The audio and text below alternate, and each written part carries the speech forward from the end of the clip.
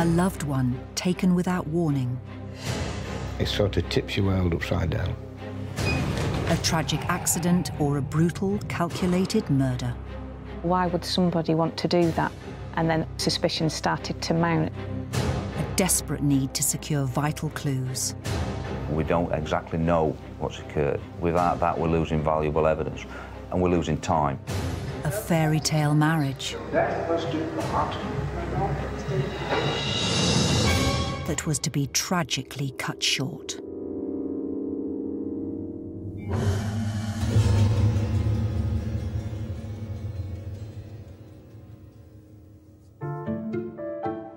In the foothills of the beautiful Derbyshire Peak District, the market town of Chesterfield is a busy commercial hub, famous for the twisted spire on its parish church. Chesterfield is, is your average town. We live in a predominantly rural county. Uh, it's got your normal crime level and incidents as you would expect. Over the years there has been serious violence and things like that, but it is very rare to Chesterfield. The town was home to Colette and Christopher Daffin, who grew up, met and married here in 1993. As a family, they was uh, happy to be together, happy in life, happy just, just as a normal family. But in July 2009, their happy family life was to be shattered forever.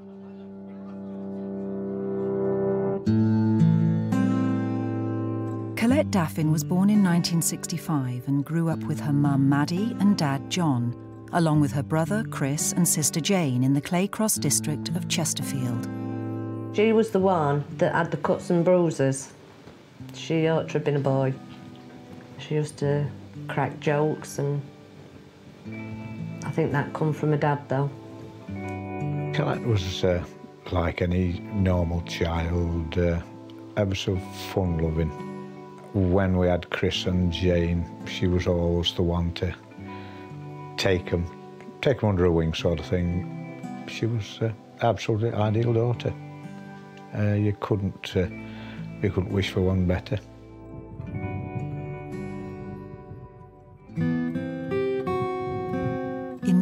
Colette's parents separated and she went to live with her mum and her mum's new partner on Private Drive in the Chesterfield suburb of Hollingwood. In her teenage years, Colette met a boy and became pregnant.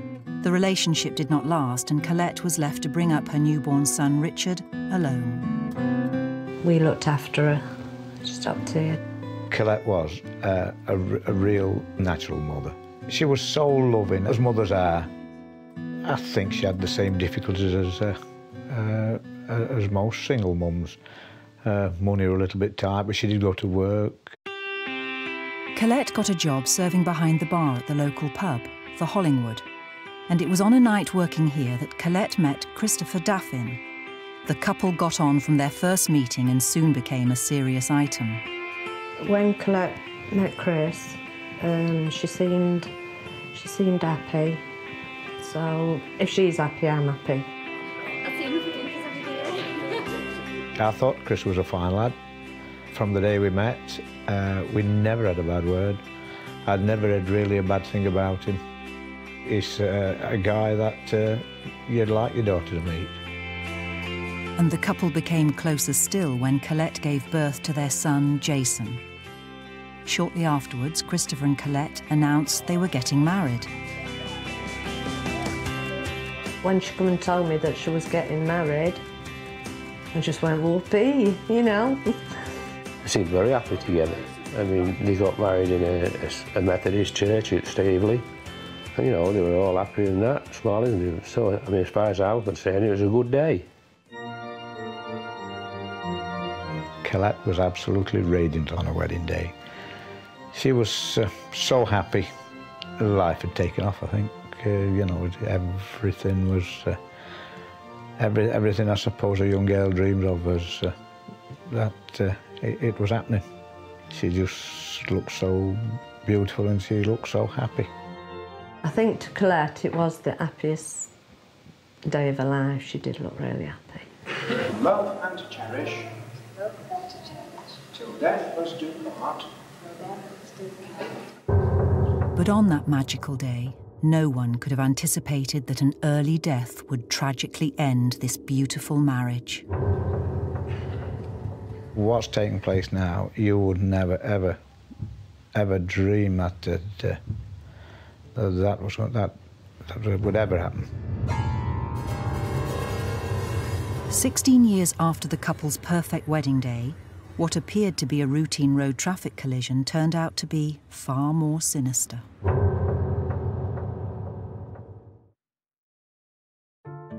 Christopher and Colette Daffin married in the town of Chesterfield in 1993. After 16 years of marriage, Colette was 43 years old. Christopher was 42. With their two children, Richard 24 and Jason 16, they were the picture of the regular family living on an average street. Chris was an electrician and Colette worked alongside her mum at a local hotel. They wanted somebody um, as a some a waitress like, and I approached Colette and said, "Do you want to come work up and be with me? You know, on my breakfast shift." So she says, "Oh, that'd be nice, Mum." I says, "Well, just go up for an interview." I says, "And I'm sure you'll get a job." And she did. So we were all happy together. You know, it was a good environment to work. We all got on well. When their eldest son Richard moved to Cumbria for work, Colette, Chris, and youngest son Jason moved to a new house on Cedar Street. When she moved to Cedar Street, um, she only lived uh, just a hop, skip and a jump away from where, where I live. So we both found it easy to get to work because it was only a walk. In fact, Colette's short walk to work would pass the very pub where she and Chris first met many years before. Early in the morning on the 8th of July 2009, Chris and Colette Daffin woke to an empty house. Their son Richard had moved to Cumbria for work, and their second son Jason was on holiday with family friends. Like most other mornings, they sat down to have breakfast together before going their separate ways for work. However, this morning, Chris decided that he was not going to go straight to work. You don't mind if go fishing, do you, Instead, he was going to go fishing at the local canal, just a couple of hundred yards from their home.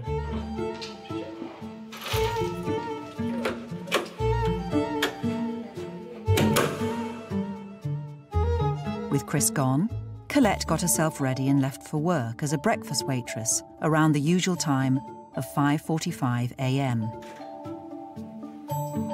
Her usual route to work was down Cedar Street, along Pine Street, and continuing down Elm Street to the Ringwood Hall Hotel. Around this time, dog walkers noticed a man behaving strangely on Private Drive. Witnesses at that time, um, a couple of dog walkers had come forward and been identified who walk the dogs same time every day.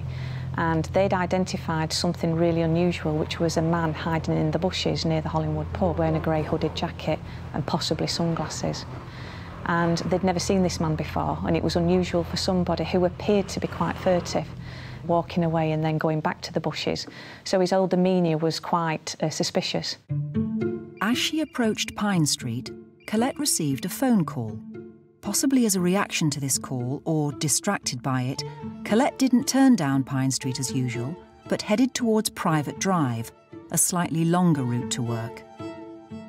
I used to go to work a bit before Colette, because with me being supervisor, I'd got a bit first there.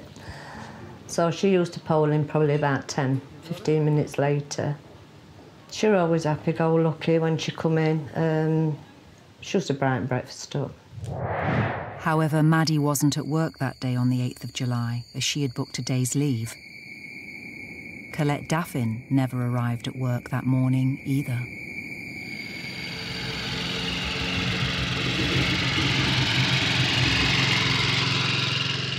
Well, as I arrived at work on the, on the 8th of July, um, the first thing I was notified was that there had been a, a fatal RTC, a non-stop road traffic collision where the vehicle had collided with the pedestrian and driven off. So it's still a suspicious incident, something we'd treat very seriously.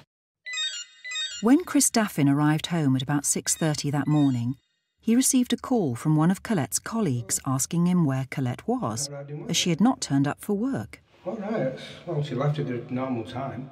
Christopher made a call to the to the police, and the phone call to us was very much my wife's not turned up for work.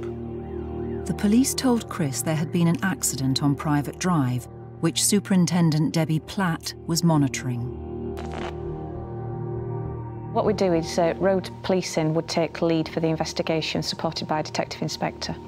And we would lock down uh, the road. Um, we would try and identify the deceased, obviously. The fact that Hollingwood was such a close knit community meant officers at the scene were quickly able to put a name to the deceased. There was a witness who came forward very, very close by to, to the actual reporting of the incident, who basically says, I know that person, I know who it is.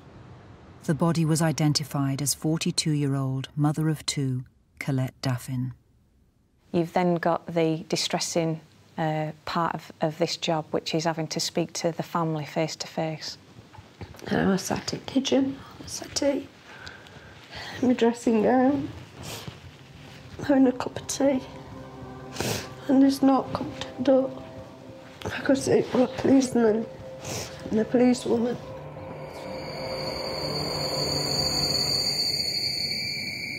And they told me that there'd been an accident. I said, where is she? He said, I'm private. I said, no, we can't because Claire,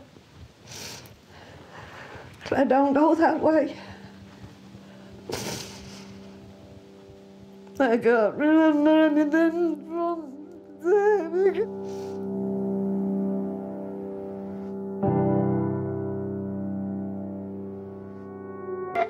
Officer was also dispatched to inform Christopher Daffin that his wife of 16 years was dead. Hi, Chris Daffin. Yeah? Uh, can I come in a minute, please? Yeah. The initial family liaison officer, he, he went to Christopher's address. He wasn't too sure about Chris's reaction. For all intents and purposes, his wife's left to go to work and she's been involved in this collision. And there was just something that just didn't seem to be right. Uh, he didn't show that much emotion. I appreciate that people deal with grief very differently, and he'd had the most distressing news you could possibly take. But his responses and lack of engagement um, were a worry. On hearing the news of Colette's death, Chris went to call on his mother in law, Maddie, as news of the accident spread to other members of Colette's family. Around about nine o'clock, I was informed by my manager that what had happened, and he, he, uh, actually brought me home, and somebody else brought my car. And then I walked in the house, and I don't think for one minute there anybody in the house.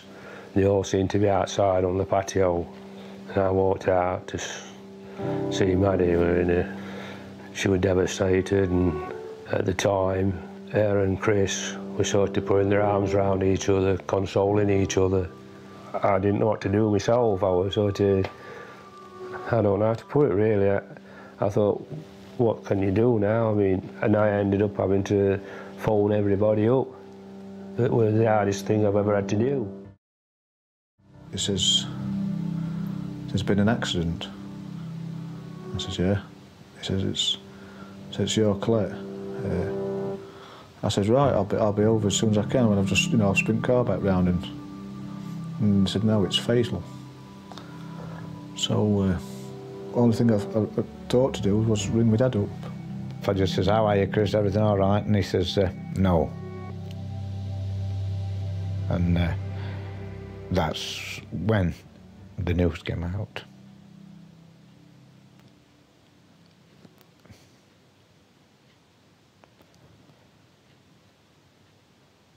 Sorry. But it, uh, it sort of tips your world upside down. He screamed. I could, I can hear that scream now. When he told me Colette had lost her life.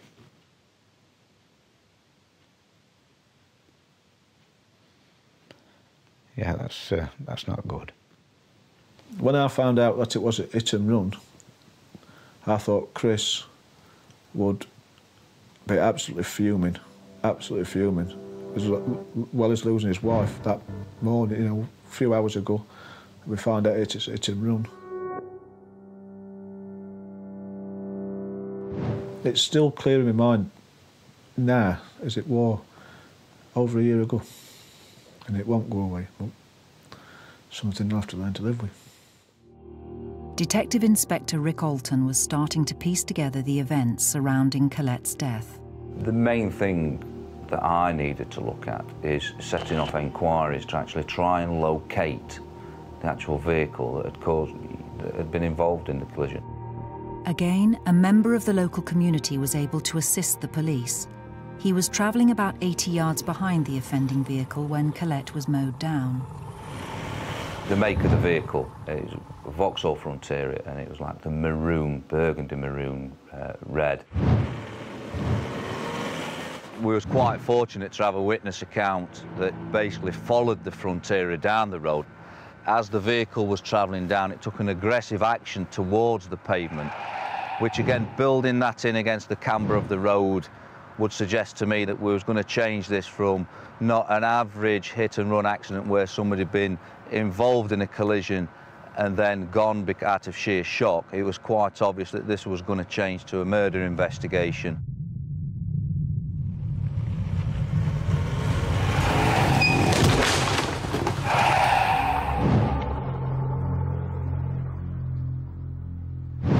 Investigations at the scene were also revealing evidence that was to become significant in the inquiry.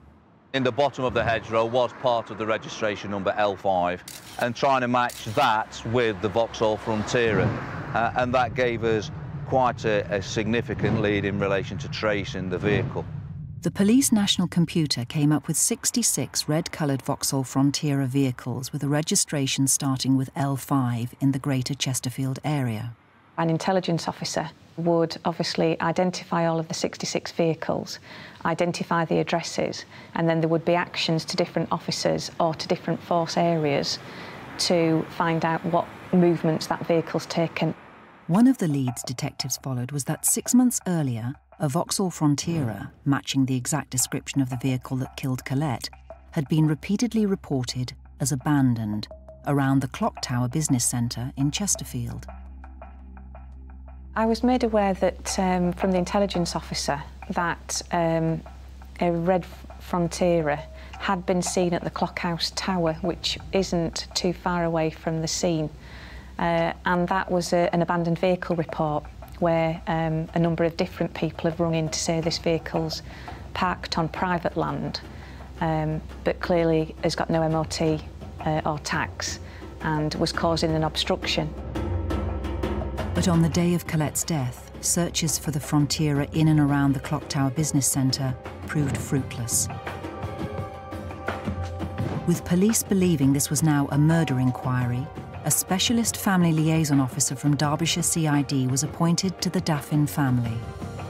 I was asked to note anything that I thought was suspicious. The time I spent with Christopher, my gut reaction was that something was not right.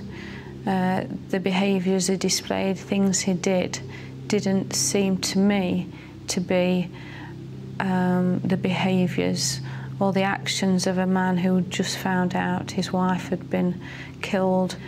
I just remember him being distracted and looking back quite cold on that morning. Back at the scene of the crime, further evidence was being uncovered. Colette has obviously come to rest uh, once the vehicle's taken off approximately where we are now, but the, the critical points for us as the investigating officer and me myself is the fact that in her, in her left hand she had a mobile phone which had obviously suffered during the impact from the Frontera and was broken in several pieces. The alarm bells start to ring, who's she been in contact with or who's tried to contact her. So for me to obtain that phone data would give me a line of inquiry to actually find out who she's been talking to and, and the length and time of the calls as well, which starts the investigation going and gives it some focus. Police were about to obtain information from Colette's crushed mobile phone that could quite possibly tear Colette's family apart.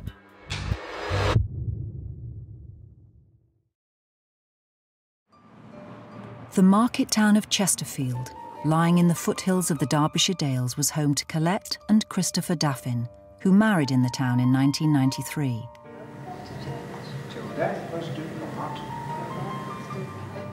On the morning of the 8th of July 2009, Colette made her usual walk to work at the nearby Ringwood Hall Hotel. But Colette's journey was cut short at around 6am that morning when she was callously run down by a red-coloured 4x4 that failed to stop. Investigations at the scene led police to believe that this was not a road traffic accident, but a murder and the fact Colette was on the phone around the time of her death led the police to request her phone data. The mobile phone became very significant in itself because when we'd done some call data, it became then evident that um, there had been two calls from Christopher Daffins to Colette Daffin, mobile to mobile, and Colette Daffin back to Christopher Daffin. And these calls were uh, between half past five in the morning and six o'clock and we believe she was killed around six o'clock that morning. So those four phone calls and that contact between them is very significant. And it was more significant because Christopher Daffin never told us about any of this. However, Christopher Daffin did tell police that as part of his electrical business, he rented storage space at the Clock Tower Business Centre. The same centre where a red Frontera had been spotted abandoned in the months leading up to Colette's death. Information uh, came in that um, Christopher Daffin had got a lockup uh, in the Clockhouse Tower. That then became quite critical information for me, and Christopher Daffin's status as a suspect was massively raised. Senior Officer Debbie Platt called Family Liaison Officer Nicola Clark and Detective Constable Dave Porters to the scene, where they were briefed on the latest developments by Detective Inspector Rick Alton.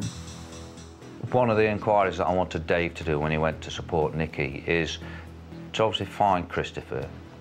Twofold, one, to get him away from the family, because I knew which way I think this investigation is now starting to go and secondly to obtain his phone.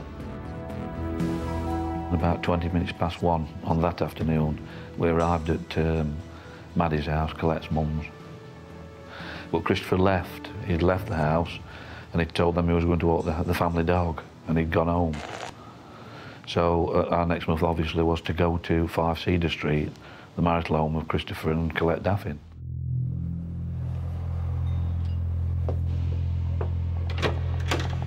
Chris. I'm DC Dave Porters. Uh, can we come in and talk to you? I asked him questions about his movements that morning, and I told him that we wanted his telephone. Uh, the only real um, questions he asked back were why I wanted the telephone. There were no other questions, really. And I just explained to him that everything had to be looked into. It was a very serious incident, and we needed to look at his phone. I stepped outside the premises and left Nikki with Christopher Daffin, and I telephoned Rick Alton, the DI. I explained to him I got the telephone, the mobile phone. I also told him that this, something didn't seem right. He was uh, too calm. There were no, he wasn't cut up at all about what had happened. Something wasn't right. Something just wasn't right. Chris, uh, I want you to accompany us to the uh, to the police station. It made a decision to bring Christopher Daffin back to Chesterfield Divisional Headquarters to get details of what had happened to him that morning, what his movements were and where he'd been, and what he knew about Colette's movements. He agreed to this, and, and we set off and we came back to Chesterfield Police Station.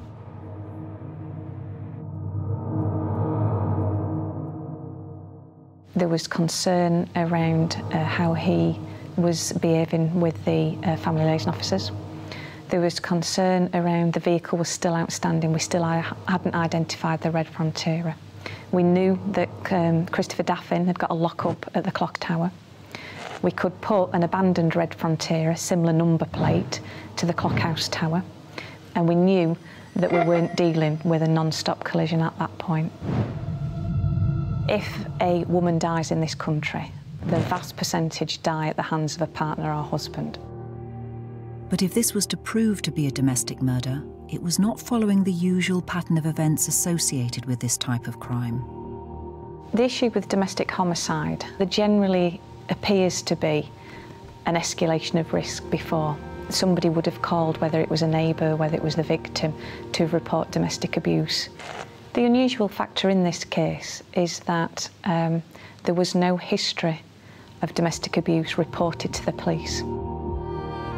On the contrary, descriptions of Colette and Chris Daffin given to the police were of a very happily married couple.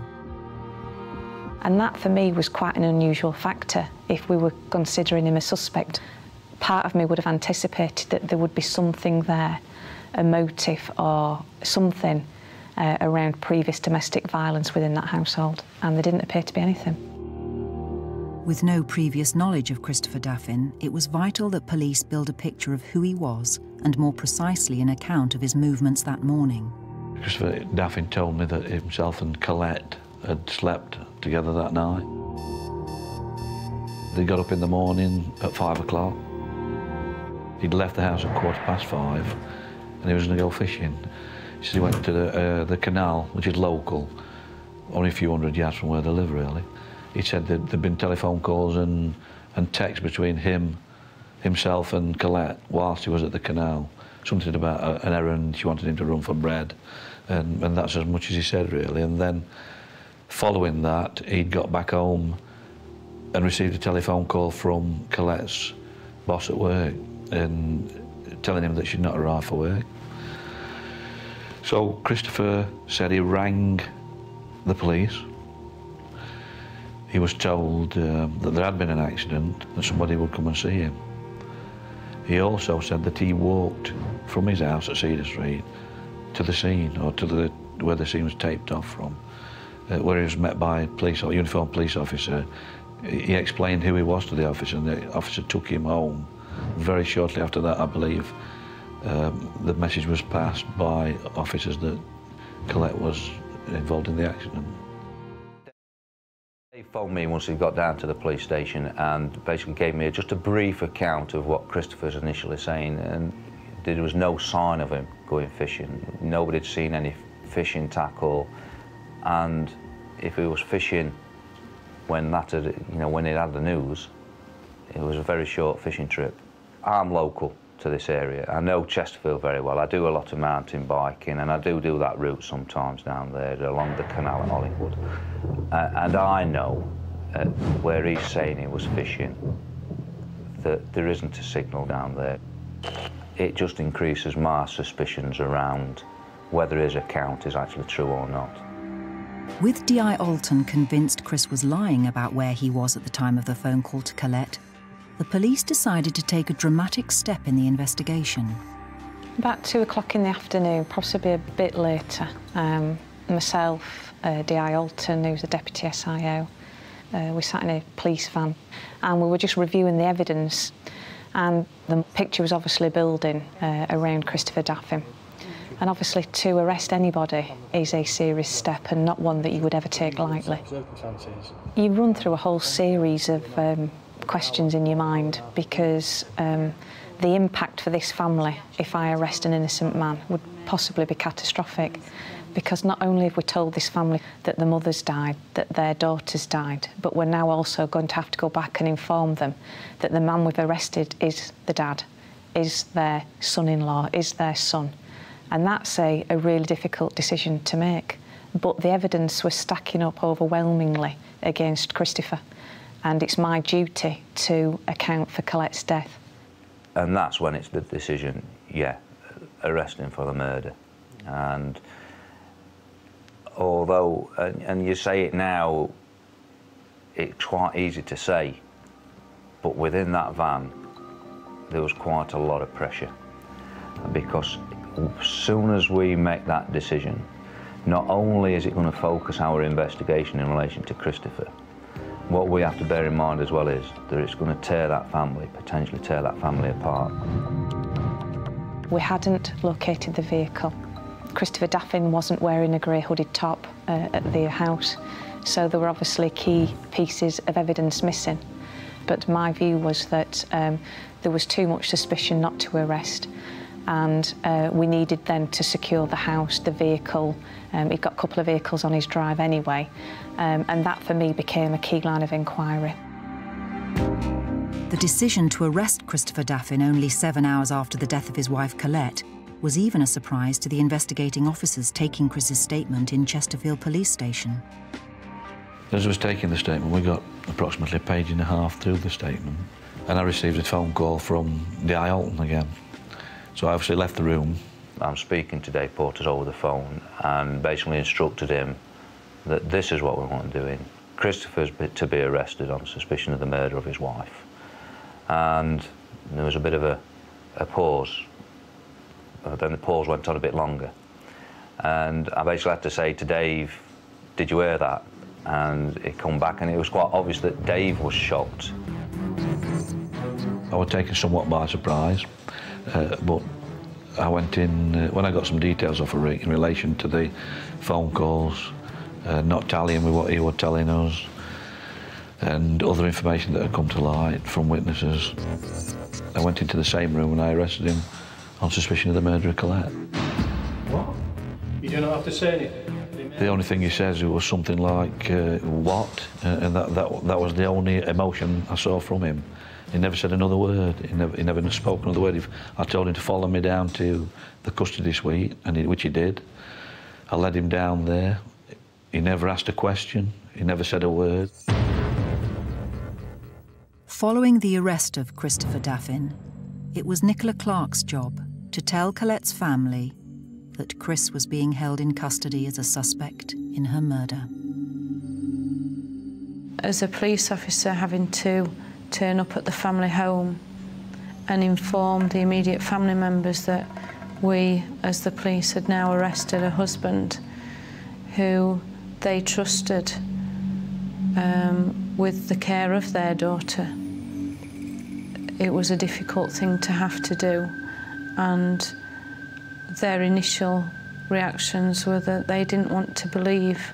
Maddie was very, uh, uh, found it very hard to believe at that time that uh, he could possibly do something like that. And she didn't want to believe it. But uh, I don't know, it's. Neither of us wanted to believe it. I read on the news that they've arrested a 42 year old man on suspicion of Colette's death. Never in a million years did I think it was Chris that night. I knew they'd got the wrong man. I mean, uh, why would why why would they arrest Chris? So of course, I thought, well, he'll be released very shortly. Then we'll have a chat. With Chris Daffin now in custody, police could secure his and Colette's property and search it thoroughly for evidence to link him to the crime. They were also keen to establish a motive. The home address was sealed as a scene. There was um, two vehicles on the driveway, one of which was a, a white Vivaro van. Again, that was sealed as a scene. And we also uh, locked down uh, the lockup that Christopher used at the Clockhouse Tower and then set the parameters of what I was uh, asking staff to specifically look for. Uh, and certainly from the home address search, I was looking for a motive. Is this a domestic dispute that's, that's gone totally, totally wrong? Uh, and it's been done out of sheer frustration, pressure? Is it financial? Is there anybody else still out there that could be involved? Bearing in mind with somebody lurking in the bushes. Searches within the house retrieved financial documents which police hoped might point to a possible motive, while officers beginning a search of Chris Daffin's work van were about to make a significant discovery. Myself and two other officers got to Cedar Street. Uh, our intention of being, being to search a Vauxhall van, which he used for his work as an electrician. And as we removed items from the car and van, they were to be photographed.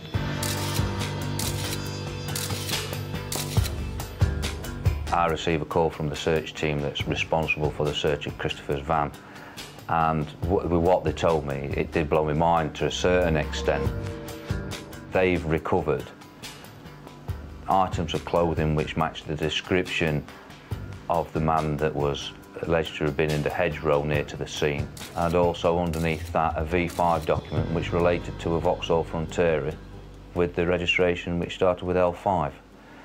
So quite hard to believe at that time. And I think after I'd put the phone down from the search advisor, it was very much sit back and have I just listened and heard what he's told me. The V5 logbook directly linked Chris Daffin to a vehicle that matched the description of the one that brutally mowed down his wife, and the clothes found in his work van were identical to those worn by the man seen acting suspiciously at the scene immediately before the murder. The fact that we found the old doll with the V5 document and the clothing did feel like a vindication for making the arrest, but you never make uh, such an arrest on a wing and a prayer. You've got to have the courage of convictions in this type of investigation, but we still needed to find that Frontera. It got to be somewhere local, uh, and that would be the critical piece of the jigsaw and the person the police thought could help locate the Frontera was about to be interviewed by Detective Constables Dave Portus and Mandy Shunburn at Chesterfield Police Station. It was after 10 o'clock that night we began the first interview with Christopher Daffin. Wanted to know about his family life, but by this time he'd taken advice from his solicitor and he maintained a no-comment interview. Every question that was asked, he replied no comment. If you're genuinely an innocent individual, you would be crying out to be heard in that police station and you would be giving us your movements and alibis and people who could assist and we just got no comment after no comment after no comment. No comment. And although, you know, that's a person's perfect entitlement to do that, um, I just also think it's uh, an indication of guilt of an individual. When somebody decides to go no comment, although the interviewing officers are very frustrated, I'm frustrated because the family are asking us questions around what's happening and we can't give them an account. Time was running out and the police required cast iron evidence to charge Chris Daffin with the murder of his wife.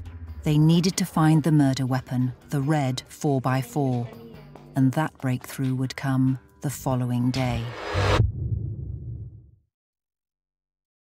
On the morning of the 9th of July 2009, Colette Daffin's husband Christopher was in custody in Chesterfield. He was being held on suspicion of her murder by running her down in a red 4x4 the previous day.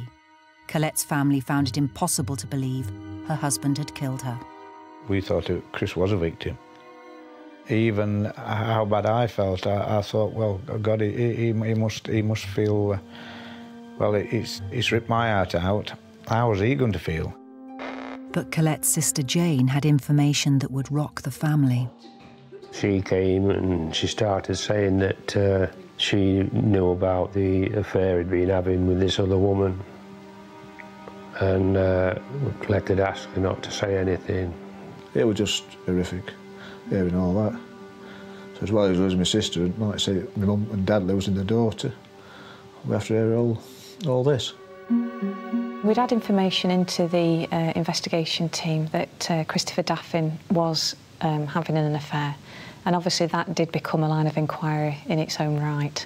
We arrested the other woman. and She'd clarified that there had been a relationship over a number of years, um, that it had been an on-off relationship, um, and that, that it had finished, and that she had no idea whatsoever of his intention to kill Colette. Um, and with her movements uh, and an alibi from other people, we were quite clear that she hadn't been involved in the preparation or the actual act uh, of murder. Christopher Daffin wouldn't admit that he'd been having an affair. He says he was friendly with uh, this woman, but he wouldn't have it that he was having an affair. It's strange, but um, when asked if he was having an affair with this woman, he denied it, but when asked if he'd murdered Colette, he went no comment. Police had arrested Chris less than seven hours after Colette's death. Subsequent searches of Chris's work van had revealed clothes similar to those worn by a man acting suspiciously at the scene, and a logbook belonging to a red-coloured Vauxhall Frontera, the vehicle used in Colette's killing. A vehicle that the police had yet to trace. The frustration that we're feeling, because this car is still outstanding, you know, we've looked at everything. We've looked at the intelligence systems. We've looked at ANPR, the, you know, the number plate recognition system. We've looked at speed cameras. We've had the helicopter up doing all the surrounding area. We've even gone to the extent of asking the fire service, not just in this county, but other counties, if they get any burnt out vehicles. The car is critical because it's actually the murder weapon that was used to uh, murder Colette. And by finding the vehicle, hopefully we will then have forensics on the vehicle that would connect Christopher to the inside of the vehicle and Colette, sadly, to the outside of the vehicle. Once again, it was a member of the public that came forward with vital information. A call comes into the police and it's basically a woman local to the community. She's heard about the incident because of how close the community is. And she's walking down a pathway at the back of a club that's waiting to be knocked down. It's totally derelict and stuck right underneath the club in like an open garage is the Vauxhall Frontera.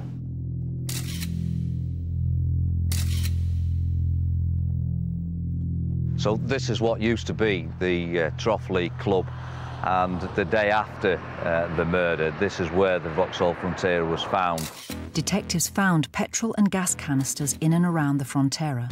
They believe it was Chris Daffin's intention to return to the vehicle at an opportune time and by igniting the canisters, explode both the car and the derelict club, totally destroying any evidence held within it.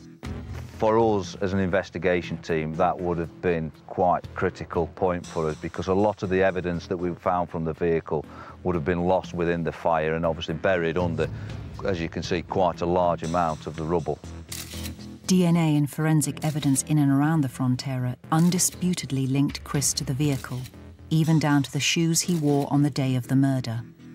The decision to make that early arrest was, in my mind, um, you know, validated completely. Because had we not, we would have lost critical evidence. If Christopher Daffin hadn't been locked up on the 8th, we would potentially have lost the evidence in the white Vivaro van, the grey hooded top, the V5 document, and definitely the Frontera vehicle. So, you know, in terms of um, justifying that arrest, uh, and feeling that you know it was the right decision to make at that time, you can look back now and think, yeah, it, you know, it was the right decision to make. So the decision then is is made to charge Christopher in relation to the murder. Police submitted their evidence to the Crown Prosecution Service, and just before 1am on the morning of the 10th of July 2009, less than 48 hours after Colette Daffin's death, her husband, Christopher Daffin, was charged with her murder. Charges on the 8th of July 2009 at Chesterfield in the County of Derbyshire murdered Colette Daffin, obviously common to make a little out of that charge. Didn't do it when I heard about all this, I, I, I thought I, I, could read people so well. Uh, I know he wasn't like that initially. He was, he, you know, he was happy, uh, but uh, these, uh, it, it, just deteriorated to this stage. Uh, once he's, he, you know, he messed about with other women. There's, there's no, there's probably not, there's no room for three in the marriage but detectives were about to uncover the real motive behind Colette's murder. The specialist departments that we have that can look deep into people's finances was one of the financial investigators, Mark, with just an A4 piece of paper and shaking it with a great smile on his face and puts it on the desk and says, look at that. Well, to me, I basically said, well, what am I looking at? Because it's an insurance policy for £250,000. Life insurance had been taken out on Colette Daffin for a figure far greater than any other previous policy. And police had concerns regarding the authenticity of the signature on the policy. It came back from the forensics at Birmingham, which basically says that that is not Colette's signature. Which again, when you, you sit back and you think, this has obviously been planned over a considerable period of time. Again, that gives you your motive. With overwhelming evidence stacked up against him, Christopher Daffin eventually pleaded guilty to the murder of his wife, Colette. On the 7th of April 2010, Chris Daffin appeared at Nottingham Crown Court for sentencing. When the judge sentenced Christopher Daffin to 25 years for murder, um, it's, it's, it's a mixed emotion, really. You know that your decisions, your investigations have been sound and that's been justified in a court of law. But you're also conscious you sat in that courtroom and there are numerous family members and friends there. And so you, it's a mixed emotion, really.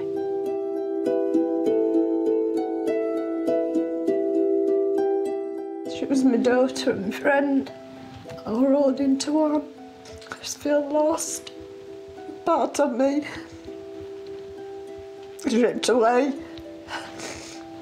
It'll never mend. Nobody knows what it's like for a mother to have to bury a child